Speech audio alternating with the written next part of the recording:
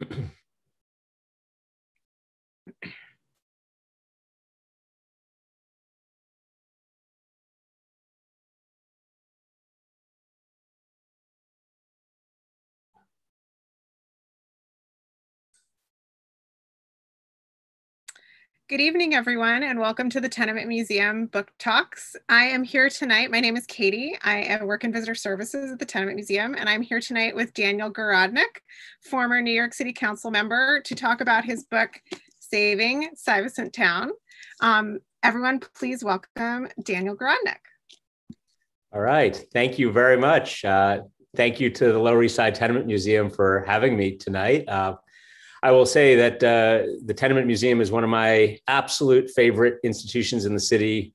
I love how it tells the story of uh, New York's uh, immigration uh, history. And uh, I was even uh, the lawyer for the Tenants, Tenement Museum um, before I ran for the city council. So it's been a long and wonderful history. So I'm so, so pleased to be here tonight. Um, and I, I wanted to uh, start before we get into um, you know a, a Q and A uh, about this story uh, with a little bit of a background. Um, uh, I was elected to the New York City Council in November of 2005 and took office in January 2006.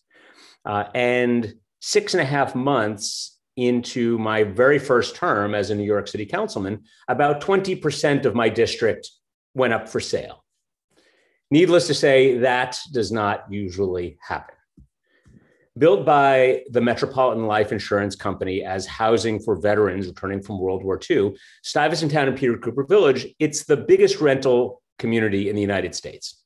And it's home to about 30,000 mostly middle class people on the east side of Manhattan. And since this is a tenement museum audience, um, I will talk a little bit more about the history because I think it's of interest. And I will note that Stuyvesant Town was the brainchild of Robert Moses, uh, who was fixated on housing creation and slum clearance in the 1940s. And there were very few opportunities for him to do such a thing in Manhattan. Parkchester had already been built in the Bronx, also by MetLife, but he wanted to find a good site uh, in Manhattan.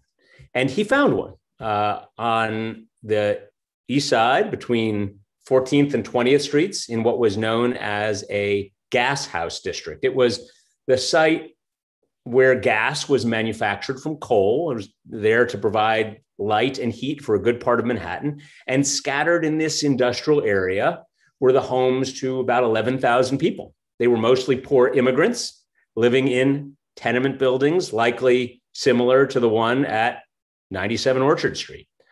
And Robert Moses saw an opportunity to transform an entire neighborhood into something quite different.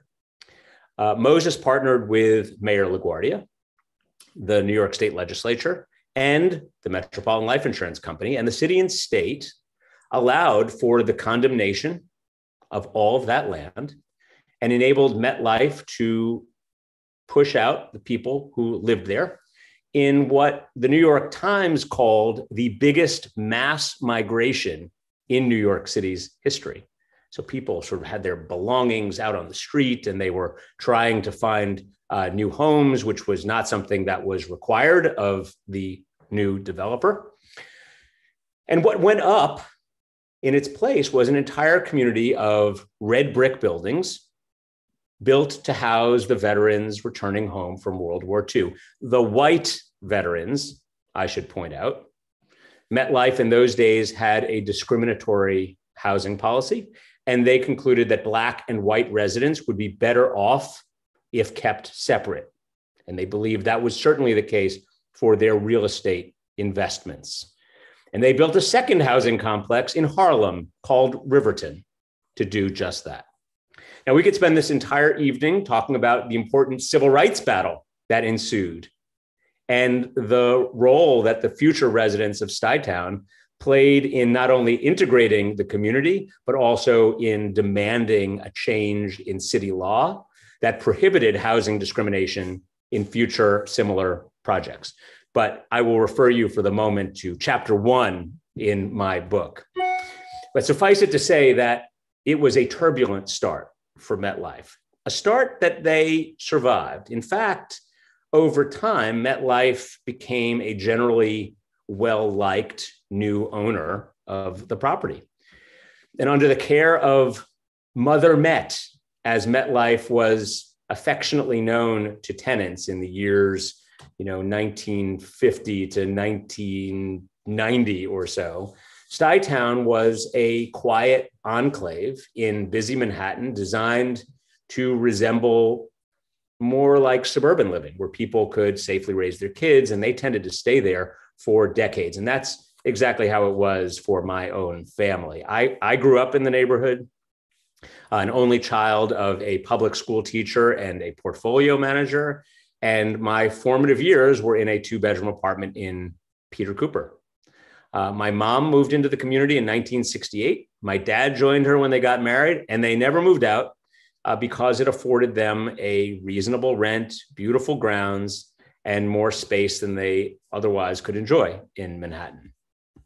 They lived in what was called a, still is called, a rent stabilized unit, uh, which, as I'm sure many of the viewers of this program know, uh, meant that their rent was well below the market rate and could only go up by an amount that was prescribed by a public board.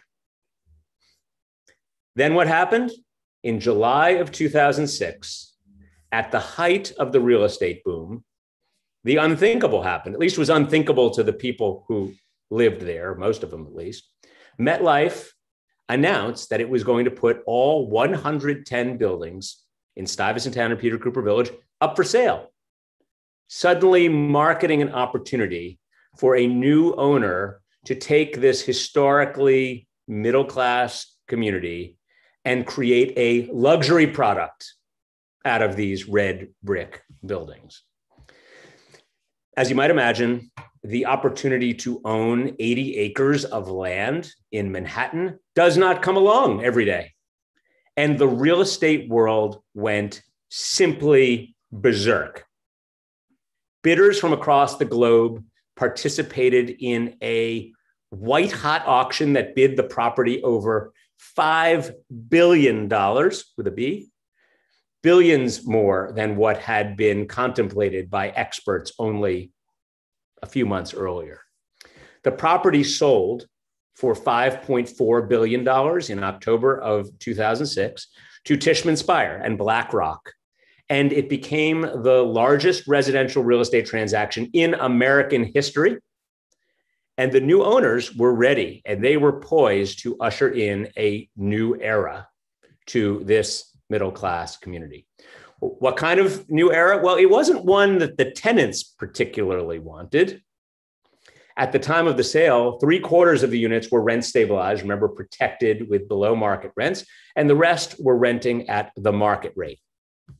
Tishman Speyer and BlackRock had just taken on $4.4 billion in debt so they put down a billion in equity. They borrowed $4.4 billion, and they had to find a way to generate more revenue from the property in order to pay off those debts and to make their deal profitable.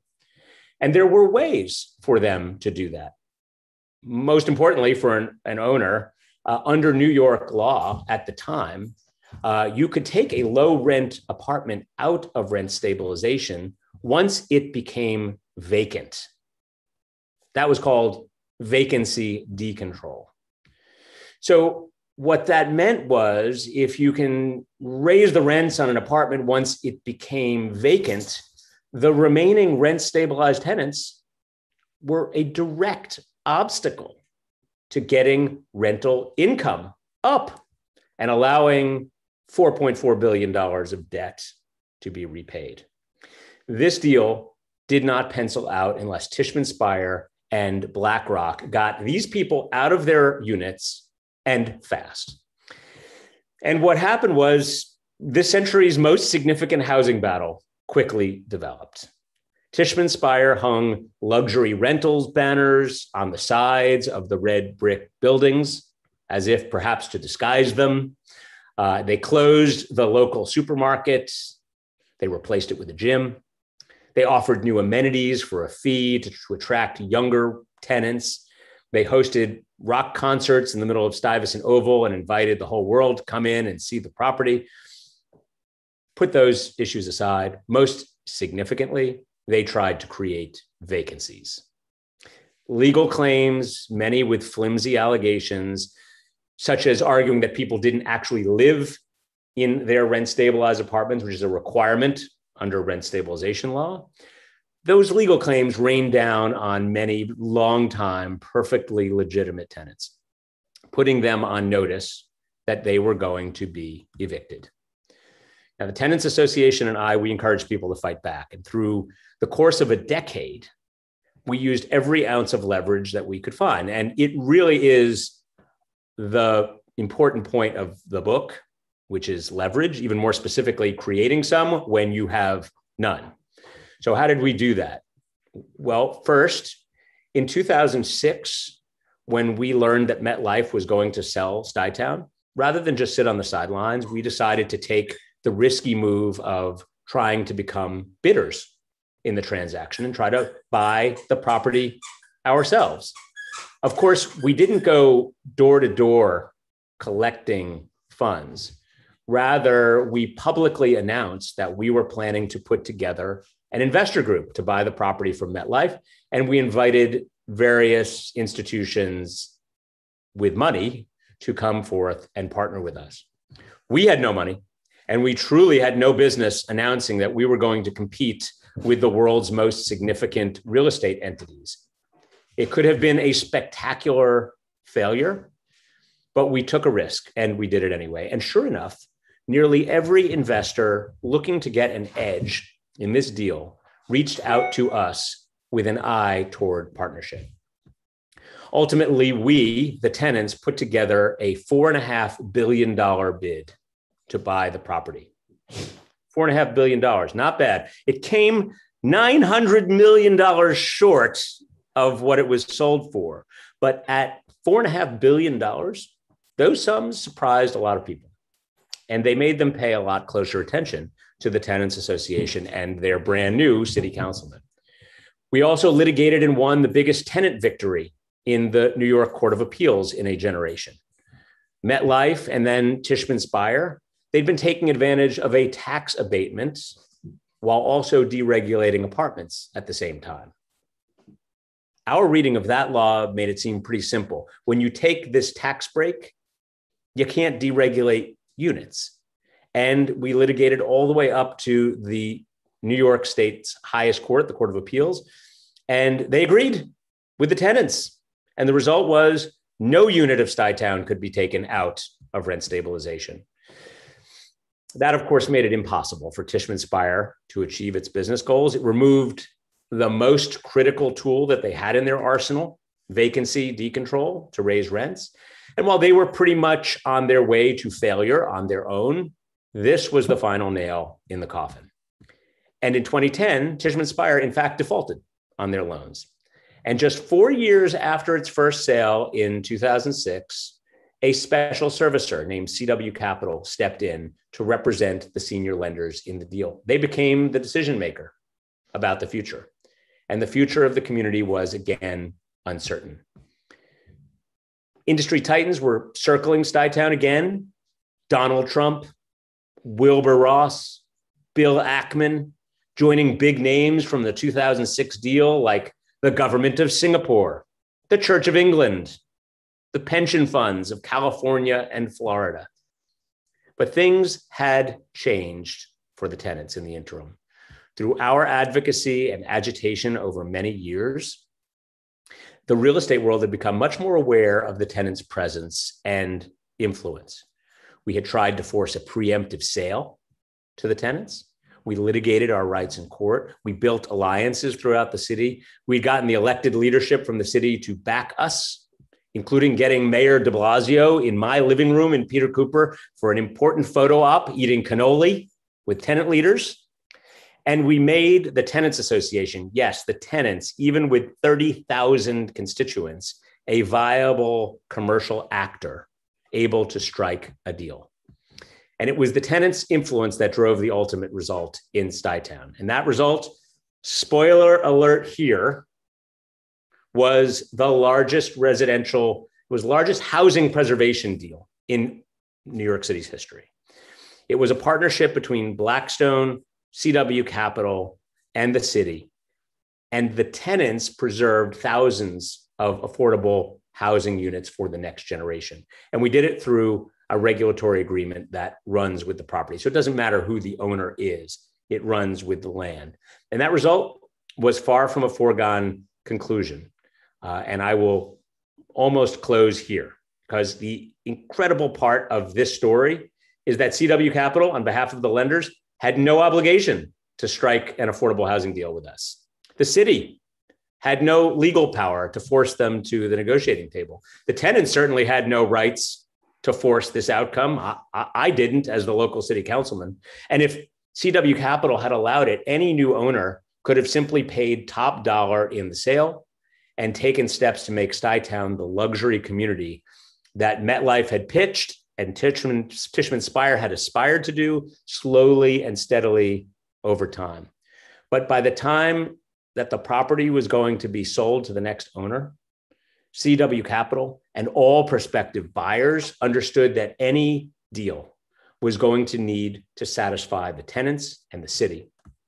And because of our strength, we had the ability to not only drive down the sale price, but relatedly, because we got Fannie Mae and Freddie Mac to commit not even to lend funds in any deal that did not have the support of the tenants in the city, we had the ability to drive up the cost of borrowing.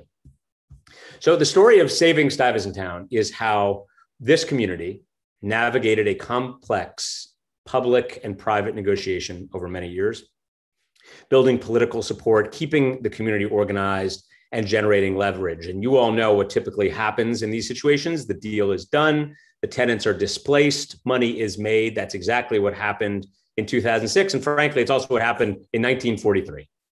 And this book tells the story about what is possible when a strategic and well organized community comes together to fight for their homes, and how these New Yorkers banded together to fight back against corporate greed and excess, and how the real estate world concluded that actually working with the tenants would yield a better outcome than a prolonged battle and how a choppy and successful negotiation played out in both public and private over many years and delivered a really extraordinary outcome for middle class New Yorkers. So thank you so much for this. The book is this is the week. Its a official publication date is Thursday. So the timing here is excellent. So I thank you uh, so much for the opportunity to to give the intro, and now I'm ready to hear some questions.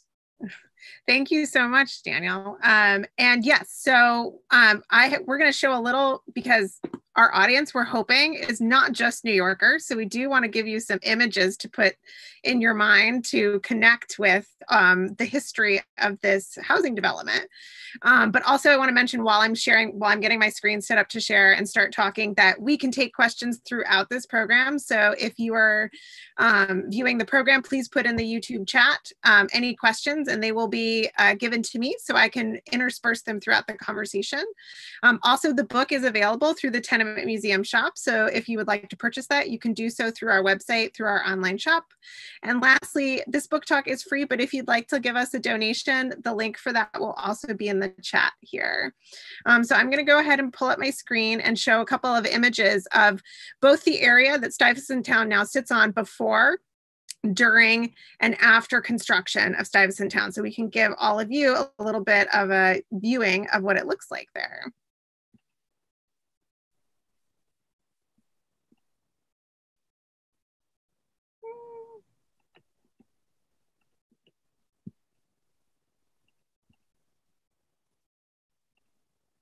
Okay.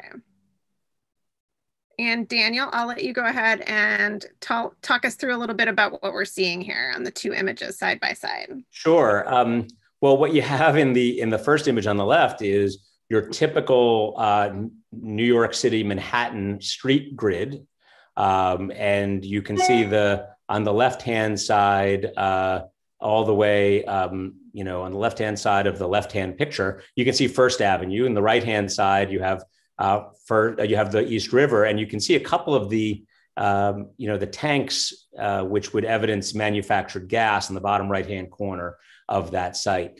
and then if you look over at the right hand picture, you can see that as part of this uh, development, uh, the city allowed MetLife to take the entire city grid and replace it with a superblock, uh, which has no uh, streets within it.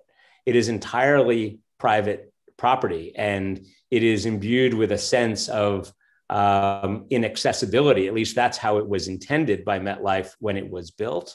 Um, and, uh, you know, as part of that change, there were uh, not only individuals who were displaced from their homes, but there were uh, churches and schools and civic associations. I mean, that was a that's a big, big uh, neighborhood right there, and addresses like on uh, you know 15th Street and 16th Street, 17th Street disappeared off the city grid forever um, and became what you see on the right hand side, which is what Stuyvesant Town uh, looks like today.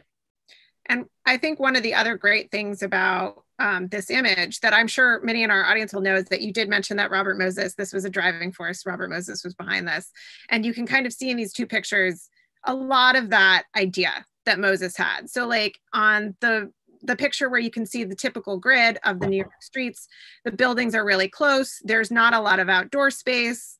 Um, and you look at Stuyvesant Town and you see the outdoor spaces that are put in there, the green spaces that are put into, into the buildings, the design of the buildings, um, the way that they're made into those cross shapes. So you can really get an idea. I know a lot of people don't usually get to see this um, when they talk about Robert Moses. You can see the physical changes, um, the ideas that were being put behind when the city did this. Uh, and by the way, one, one thing that I would add, and just for the interest of, um, of completion, on the right hand image, you can see in the top part, you see some buildings that are a little further spaced apart.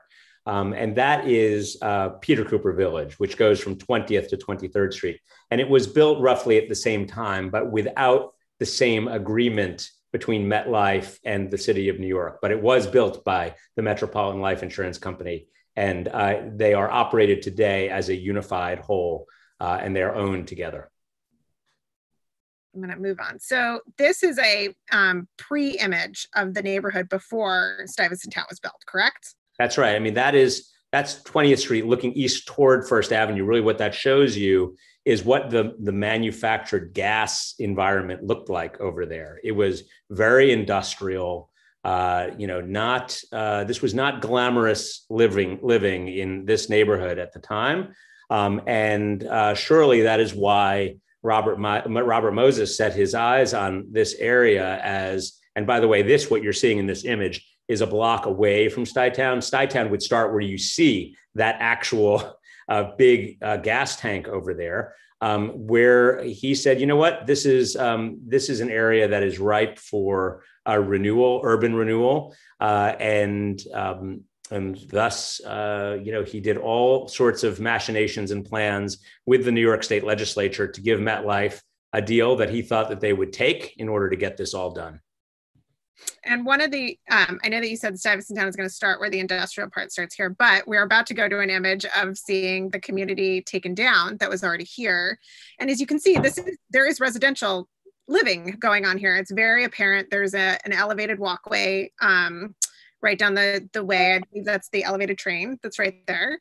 Um, and you have the cars on the street. You can see there's a lot of parking. You can see that these are single family homes, much of which you'd see throughout the city at the time. So there is there is a community living here right now, and some of that is going to disappear when Stuyvesant Town comes in. So I'm going to go to the next image. Uh, and this is another typical back end of the buildings that were there. So you can see that again, very little outdoor space, communal building living happening here. Um, and this is very, this is what, when you go to the Tenement Museum, you will see this very setup in the background here um, of one building looking directly onto another here. So there's no space in between you, literally your yards abut each other. There's no alleyway. And this is a uh, post demolition photo.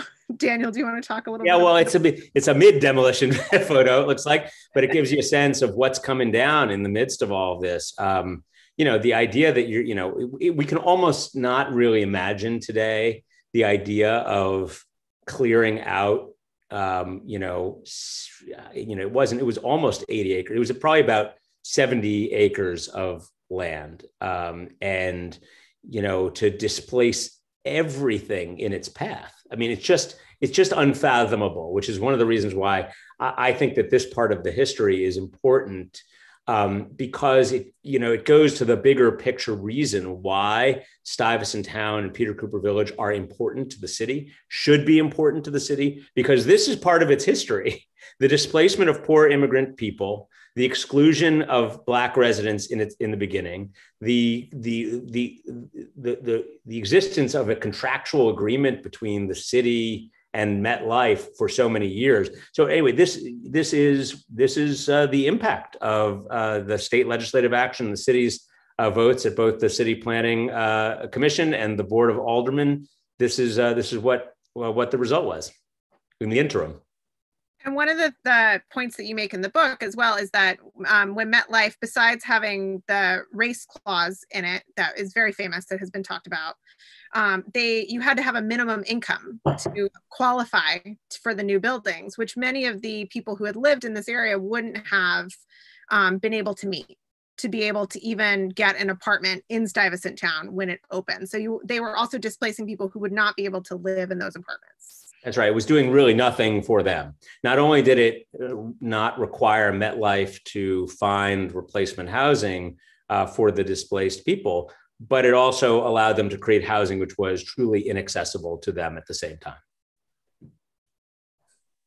And I, I think blank this, canvas. There it is, a blank yeah, canvas. Blank canvas. Very rare in New York. one of the things that I love about this picture, though, is it's so interesting. You can actually, if you look really closely into that blank canvas, you can start seeing the formation, the foundation of some of the buildings, particularly on the you know the the near right hand corner of the site. A few of the Stuytown buildings were already built. You can see in the corner there on the right hand corner, that's the corner of 14th Street and Avenue C. You can see some of the Peter Cooper buildings uh, going up on 20th Street.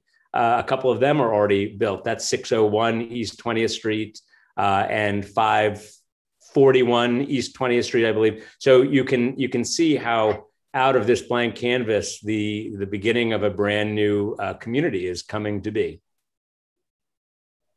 Oh, and here we are mid mid happening going on there it is. You can see the structure of those uh, the buildings uh, coming to be, and that, of course, was replicated uh, over and over again uh, to make that uh, that entire neighborhood.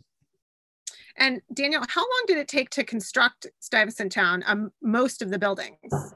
Yeah, it was um, it was ready for occupancy in 1949. So between the date that uh, that they signed a contract between the city and MetLife was 1943 um, the last resident moved out in 1945, 1949.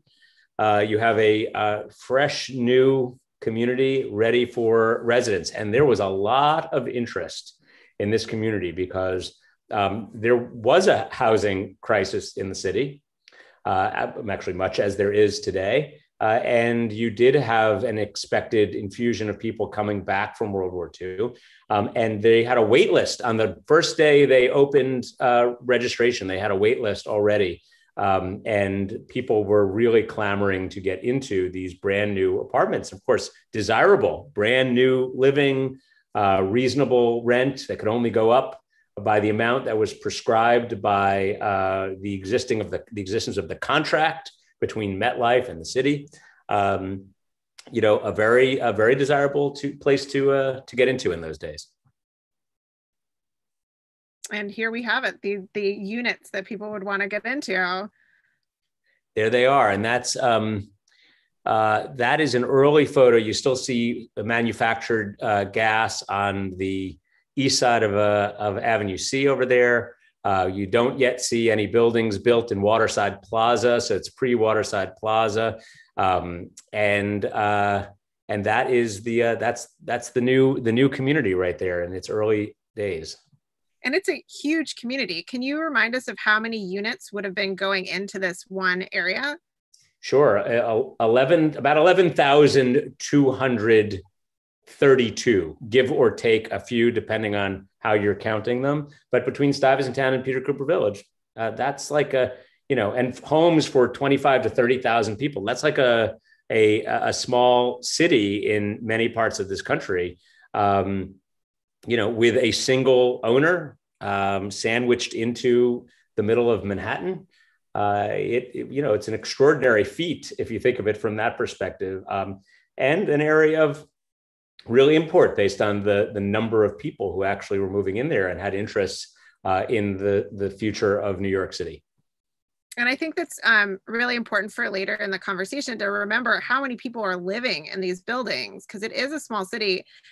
And so the Tenants Association really came to represent a huge amount of people um, during this housing battle, and they had to they had to find ways to diversify that association, which I love that you put into the book um, yes, well. that, that's a, I mean that of course was uh, you know a, a, real challenge, right? You have thirty thousand people in the community. Um, how do you get them sort of organized and pulling the boat roughly in the same in the same direction? That is a very difficult uh, task, and we can definitely talk about that more if you want to. Yeah.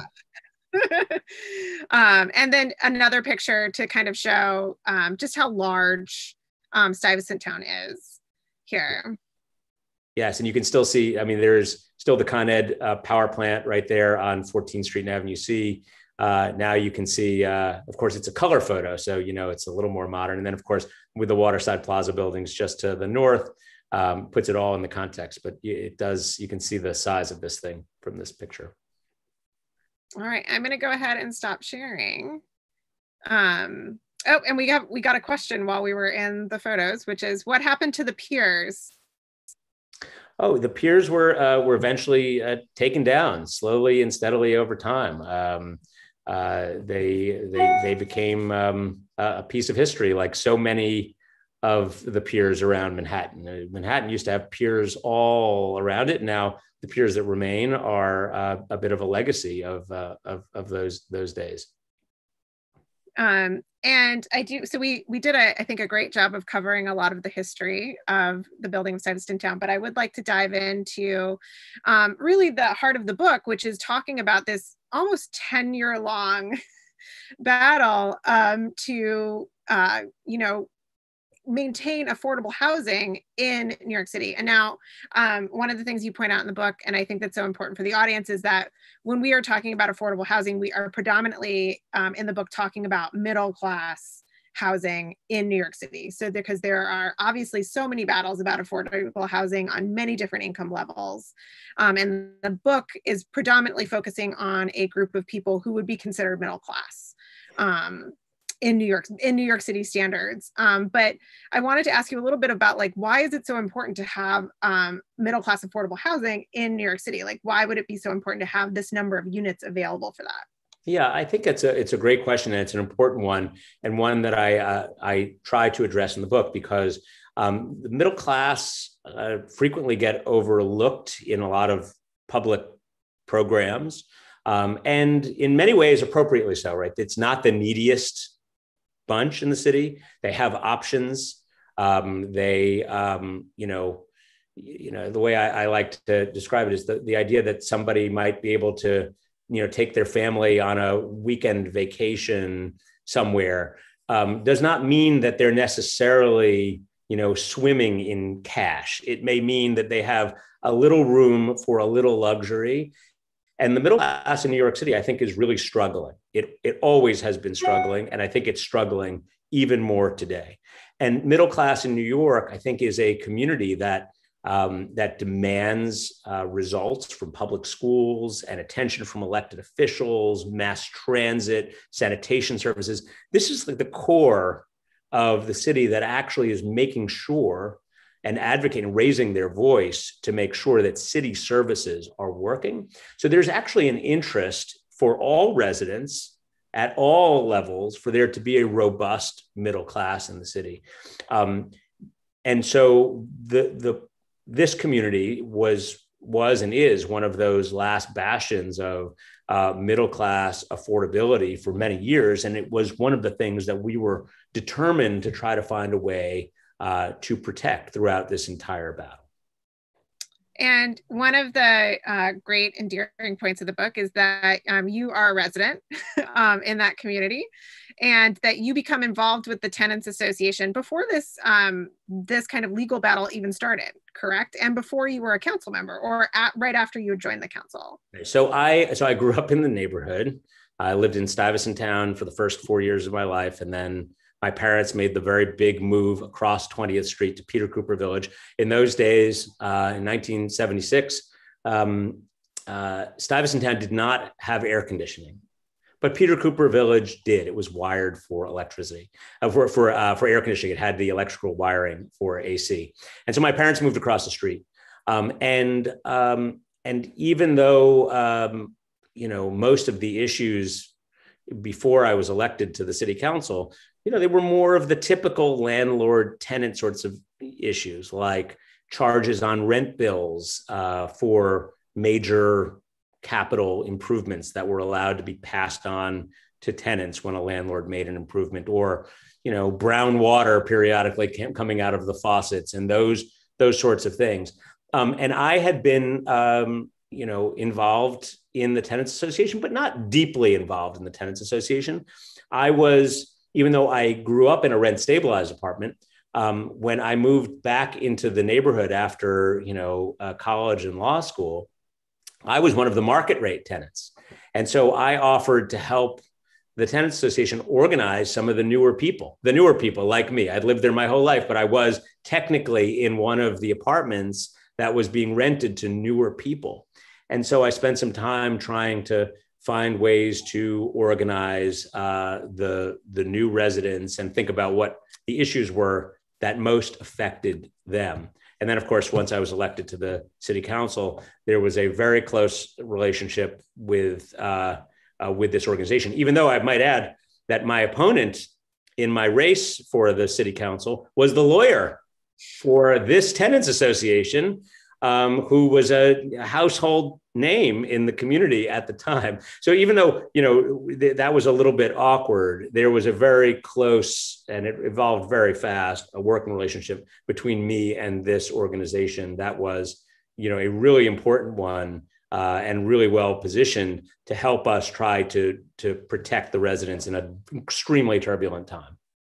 And I think one of the really important things about your book, and for anyone um, who goes out and reads it, or maybe facing difficulties or is thinking about housing, is that a there was a tenants association already um, in the buildings before the battle happened. Um, but then it's also about creating um, an organization to represent this vast number of individuals in what was going to be a very traumatic period not just in the housing battle that's happening but also you had events like the economic crash of 2008 that happened during this time Hurricane Sandy happened during this time. So lots of different issues, both physical, financial, and stressful about just the ongoing legal battle for the thing, um, um, for the housing itself. And I was wondering if you could speak a little bit about like the evolution of the uh, tenants association throughout this time period of this of this like turbulent 10 years. Yeah, well, it's interesting. And I, you made a you made a really important point about the fact that it was not created from scratch right when we were facing this turbulent moment. It existed, it was well recognized. Um, and actually, this year in 2021, it's the 50th anniversary of the Stuyvesant Town Peter Cooper Village Tenants Association. It was founded in 1971. Um, and it was founded in anticipation of the contract expiring between MetLife and the city. So, come 1974, 25 years after the opening of the doors of Stuytown, the contract is going to expire between MetLife and the city. And that means that all of a sudden there were going to be no protections for tenants. The rents could go up to any amount. The tax break that MetLife got from the city at the outset was going to disappear, and MetLife was going to have the ability to uh, pass all of those costs on to residents. So they wisely got organized and fast and formed a tenants association, pushed back against that, got the community introduced into rent stabilization, extended the tax abatement for a period of 10 years, and the modern tenants association was born. And they were a, um, you know, they were an organizing force. They had some, you know, incredible uh, community activists like, you know, Al Doyle and John Marsh and Susan Steinberg, who were uh, they they just they they it was all volunteer, but they were so deeply committed to the cause of looking after uh, residents of this community that they would organize building by building by building and get building captains and floor leaders, and they had an apparatus to actually push back against MetLife when MetLife was doing things that they did not like or they did not think were appropriate. They were ready and they were they were able to challenge them at every turn. And that apparatus, of course, you know, I did not build. I am not responsible for that apparatus, but I certainly, uh, you know, helped to um, to to focus that apparatus when we knew what we needed to do to be able to get this, uh, you know, this community on a, a more sound footing after that sale in 2006. But it was it was there before before I got there, and even just by a smidge before I was born. Um, and I think uh, we actually have some questions coming in, and one of them is um, we just I think answered, which was to tell us more about how the uh, community organized. Um, but they are also specifically asking, which I know you address in the book. Um, I think specifically when this kind of period came, um, did you have weekly meetings, and who participated, and who paid the legal fees? Yeah, so. there were not weekly meetings of this entire community. So we'll start from that proposition 30,000 people. It's a behemoth, 30,000 views of what to do at least. Um, slightly before the real advent of social media, I might add, which I think it helped a little bit uh, because it, it just allowed for you know the the temperature to go down in the community in a way that I don't think is actually possible in in 2021. Um, but the tenants association had uh, their they had a board, they had monthly meetings of their board. Um, they you know tapped me to help them nav- navigate the turbulent waters of uh, you know of the real estate and political environment that we were in.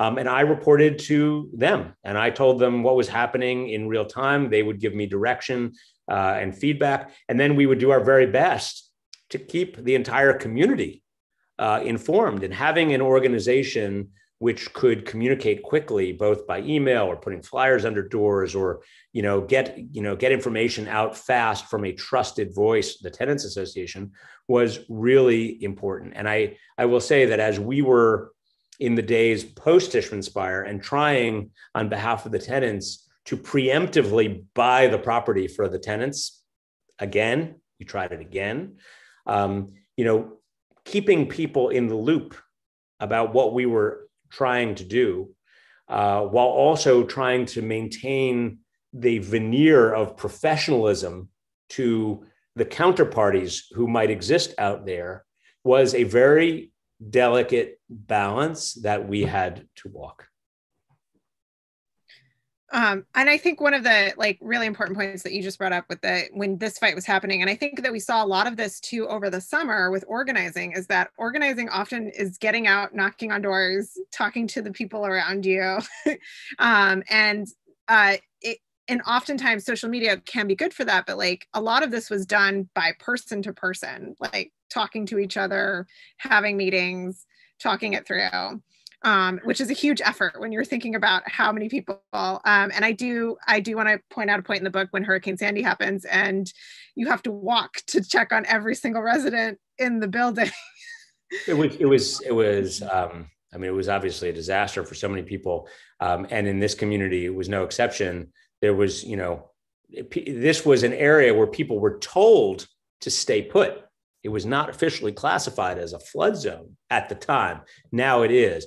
And so you had power out and senior citizens trapped because they couldn't get out through the elevators. And yeah, we organized, you know, about a, a week worth of daily knocking on every one of those 11,232 doors to check on neighbors and bring them what they needed and get the prescription filled and things like that. And it was, you know, it was an extraordinary and complicated effort. Um, so important. And we have another, this is kind of a building myth question. Um, but uh, as a longtime resident, I've always heard rumors of fabled four and five bedroom apartments that people have who have broken through to upstairs apartment and built stairs. What is the largest apartment in Stuyvesant Town? Oh boy. I don't know of any uh, four or five bedroom apartment which somebody has built up. Um, I do believe that there are a couple of apartments where it's, um, and this might be in 2 Peter Cooper Road, where there's a an access to a piece of the roof. Um, there are, I believe, um, uh, there's certainly three bedroom apartments. Uh, on main floors of some buildings, there might even be a four or a five. I am not certain what the biggest one is, but the big ones, I am almost positive, do not involve multi floors within an existing building. They are a one bedroom combined with a two bedroom right next door. And that, of course, is something that the uh, the current owner has done uh, with some units in the property. So the three bedroom apartments are a little more common than they used to be. I do always like a good New York real estate myth of how how the, how the buildings have been configured. Um, uh, and I want to kind of draw back into the the other big player in this book is of course you, um, and you had become. A, you were recently on had gotten onto the New York City Council as a council member, and this this happened like within just you just becoming a council member this huge event of like a huge portion of the people you represent homes were about to go up for sale on the land and you had to really pivot and dive into this um, and i was hoping you'd just talk a little bit more about that experience because it was like it, it was really so in the book it's so it comes through so clearly about how it was like you felt like it, you had to pivot very very quickly because because no one was prepared for this. Yeah it was i mean it was terrifying right? It was terrifying for me and for my neighbors um, because we didn't expect it. We weren't prepared for it and um, you know, for me, uh, as a newly elected person, there's no uh, provision in the New York City Charter which tells you how to handle this. Um, and I remember so clearly when I got a phone call. I was in the middle of a staff meeting, and it was in July of 2006, and I got a phone call from the lobbyist for MetLife and he said to me, Hey, uh, you know, Dan, uh, I just want to let you know MetLife is contemplating putting, you know, the asset up for sale or some words that I thought did not appropriately describe the, the homes to, you know, 30,000 people, but it was, they were going to test the market for selling Stuytown. We're going to do something along those lines. And I remember getting off the phone thinking, come on, that just can't, it can't be. I mean, it's not even, it's it, that's a, it's ridiculous, right? It's it's not possible that MetLife is going to sell Stuytown. Um, and I didn't appreciate at the time that you know lobbyists don't call the local councilman on a matter like this in the early stages of their client's thinking. They call them when it's absolutely necessary to give them a heads up. And that moment was right then because the news started to dribble out that MetLife was planning to sell Stuytown, exploring selling Stuytown. Um, and, you know, and I, I did not know, I did not know what to do. And, you know, there were, there were some good, um, there were some very helpful people out there, as you'll see in the book, people like John Crotty, who worked for the, the Bloomberg administration at the time, was also a resident. And he, you know, was an expert on the subject. And he was somebody I'd met during the campaign. And he was really helpful in thinking through what we might do, uh, as opposed to just complaining about a sale, but actually intervening and taking a step to put ourselves in the middle of all of it. This was not my idea. Um, it was a great idea, but it was not mine. Like so many other things that I did in the city council, um, other people had some great ideas and i uh, you know had some sense to be able to act on them in this case i saw an opportunity for us to have an impact and perhaps even to come out with a great outcome for residents um, in a way that nobody was really expecting us to do. And so we took a big chance and we went for it. Um, but it was, you know, in bringing along the Tenants Association board, when I said to them, we should buy Stuytown, they looked at me like I had looked at John Crotty. What, what are you, I mean, are you out of your mind? Like we're just getting to know each other here, right? Like, what are we going to do? How are we going to buy Stuyvesant Town? We're like, you know, a group of 10, mostly, if not completely rent stabilized residents what, what, how, how is this going to happen? So yeah, we moved fast, we organized fast, and we brought the community along. And I think they were happy to have a plan and to have some leadership uh, in a in this really uh, you know unusual moment.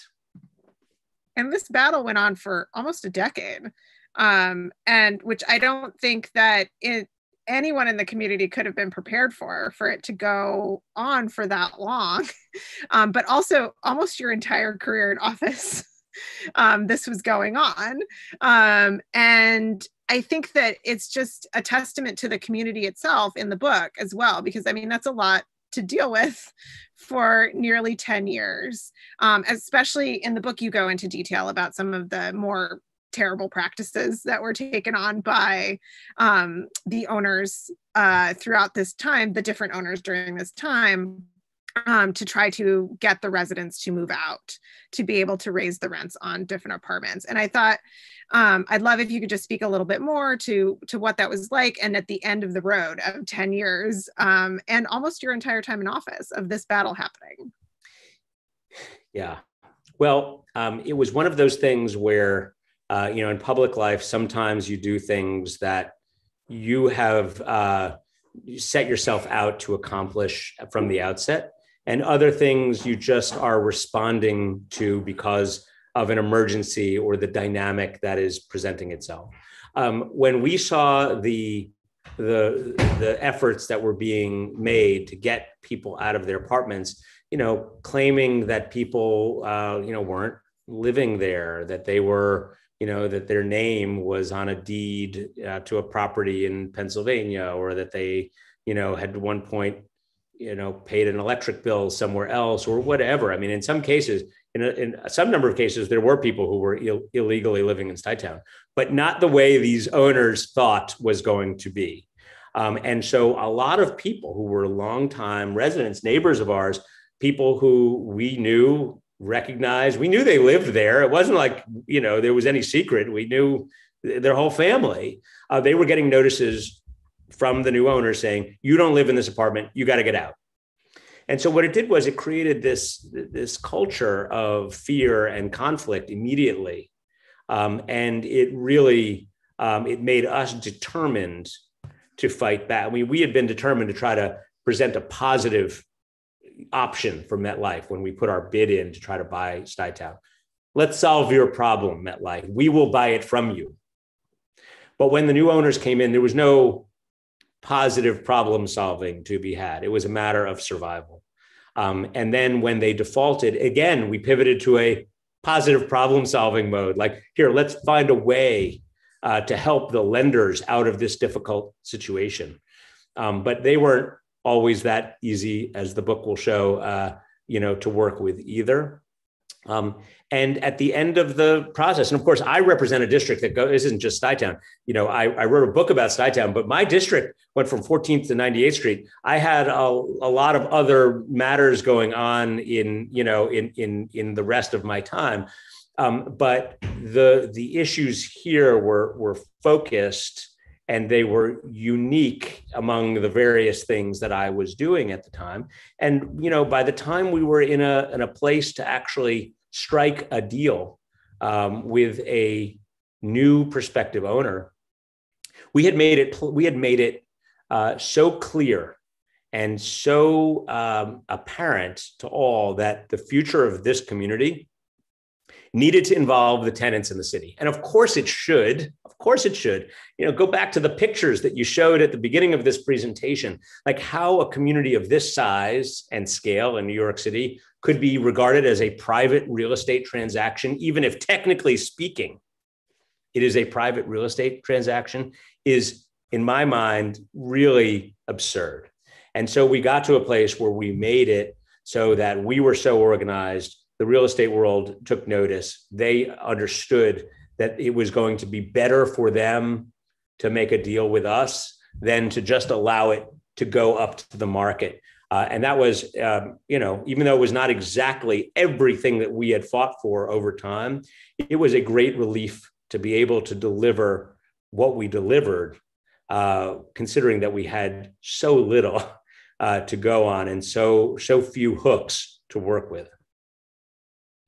I felt immensely relieved when I got to the end of the book. I was so happy. I was like, oh, I feel I feel so much less stress now. um, sleepless nights. There were plenty of sleepless nights in that in that decade. I can. I can you. only imagine. Um, I we have only a couple minutes left, so I just want to reiterate: if anyone has questions, now's the time to put them into the chat um, as we're wrapping up here. And we do have one more uh, here from earlier, which was, was anyone active in your fight also uh, an original tenant who had fought the whites only policy? Um, you know, there were definitely original tenants who were involved. I don't know the answer to that question as to how active they were or if they were active at all in that initial battle. Um, you know, it's really interesting. You know, when you're in the middle of this entire discussion, and when you know, I mean, I grew up there. Yeah, I'm generally aware when I'm growing up of the dynamic in the community. Even when I'm elected, I'm aware of you know the the horrible racist past of Stuytown. But when you're in the middle of all of it, even though I would love to go back and ask that question, right, to an original tenant, like, can you tell me what it was like in those days when you know, white residents were inviting black people to live with them as a way to integrate the community. Oh, you know, the stories are, you know, they're incredible. And some of them I tell in the book. Um, but the short answer is I don't know the answer to that. And we were so deep in the middle of all of this. Um, I, you know, I didn't even have the sense in most cases to ask. And I didn't even appreciate until we were through it the import and the impact nationally that this deal had on people. So it takes a little bit of reflection sometimes to, to appreciate uh, some of these things. But that is a question that I certainly would love to have asked, you know, some of the original tenants who were with us. And on that note, I'm just going to see if we get any more questions here coming in. We are at the four minute mark to ending the program for tonight. So um, I do want to remind everyone that the book is for sale uh, in the Tenement Museum online shop. So you can order it and we will send you a lovely copy um, of the book. Um, and if you'd like to leave a donation, you can through the link in the chat. Well, uh, I think in this time, we're going through another extraordinary time. So to end, um, I would love to ask you, what are you most looking forward to post-COVID? Ha. Oh boy. You know, I kind of feel like, you know, the roaring 20s are like about to uh, to come back. Um, the idea that um, I can go out, see people with less worry, uh, to be able to enjoy things that have been inaccessible over such a period of time. We've been so careful trying to, you know, to protect ourselves and our family, but going out to dinner with you know with friends without thinking about it, uh, indoor or out, going to a, a Broadway show, um, you know, going to see a, a sports event. Um, these are all things which you know to me are you know they were so I, I feel like I took them for granted and because I took them for granted, I now understand how important they all were to me, which means I'm going to want to do them all and more. And I'm certain that I'm not alone in this, that people are people are itching to come out of their shells, they're itching to come out of their apartments and they want to go out and enjoy themselves.